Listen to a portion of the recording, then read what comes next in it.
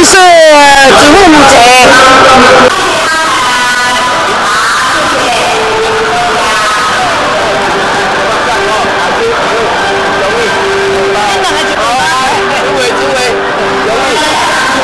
好谢好各法则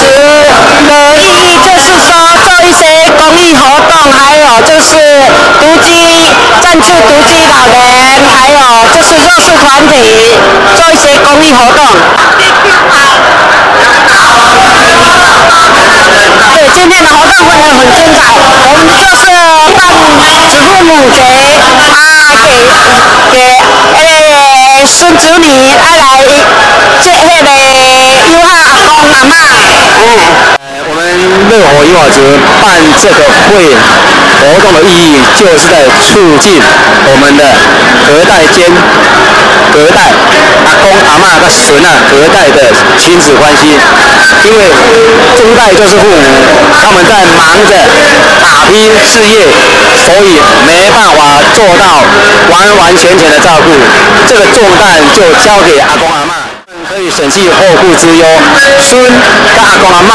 啊接受了真好心，这个家庭非常圆满。所以讲，阮为着要庆祝，庆祝这个八月份的三十日的时候，第四个礼拜的祖父母节，我们扩大举办。这一次有四个乡镇联合主持，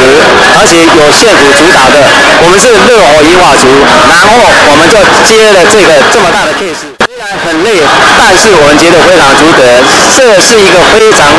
有意义的孝道传承，所以我们要继续办下去。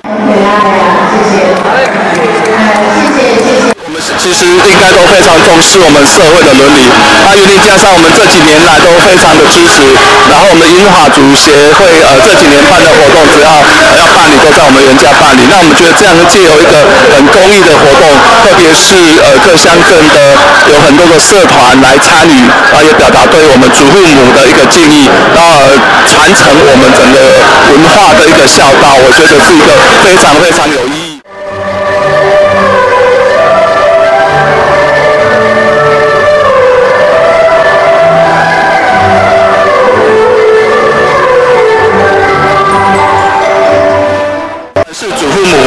是我们社会的团体，老中青少，然后都能够一起来为社会服务。特别像我们园林家商，也都有机会让我们的孩子们一起来参与学习。我觉得我们不只是服务，也学习更多。也祝福我们祖父母节，所有的祖父母节，大家身体健康，万事。